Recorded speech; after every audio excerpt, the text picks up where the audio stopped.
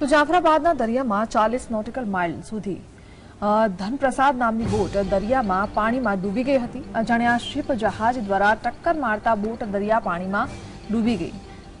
જોકે બોટમાં સવાર આઠ ખલાસીઓને અન્ય બોટ મારફતે બચાવી લેવાયા છે.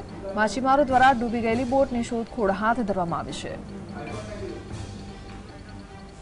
ધનપ્રસાદ નામની બોટમાં સવાર આઠ ખલાસીઓને જોકે બચાવી લેવામાં આવ્યા છે. અન્ય એક બોટ દ્વારા ધનપ્રસાદ નામની જે બોટ હતી તેને ટક્કર વાગી હતી, જેના કારણે ઘટના સર્જાઈ હતી, પરંતુ આ બોટમાં જે આઠ ખલાસીઓ સવાર હતા, તે તમામ લોકોને બચાવી લેવામાં આવ્યા છે.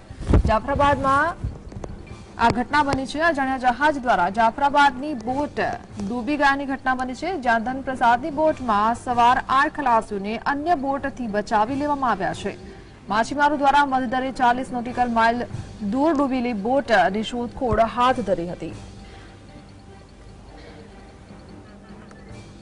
સંવાદદાતા કલ્પેશ જોડાયા છે. કલ્પેશ, શું જાણકારી?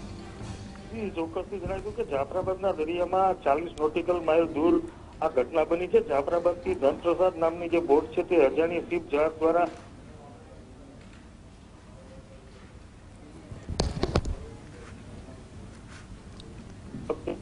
ચાલીસ નોટિકલ માઇલ દૂર ડૂબી ગયેલી બોટની હાલમાં શોધખોળ હાથ ધરવામાં આવી છે. જી. આભાર. કચ્છ જિલ્લાના ભુજમાં નવ હજારની લાંચ લેતા તલાટી ઝડપાયો હતો. જૂના જૂથ ગ્રામ પંચાયતના તલાટી મિલકત સંદર્ભીના કામ માટે લાંચ માંગી હતી. ત્યારે એસીબીએ લાંચિયા તલાટીને ઝડપી પાડવા કાર્યવાહી હાથ ધરી છે.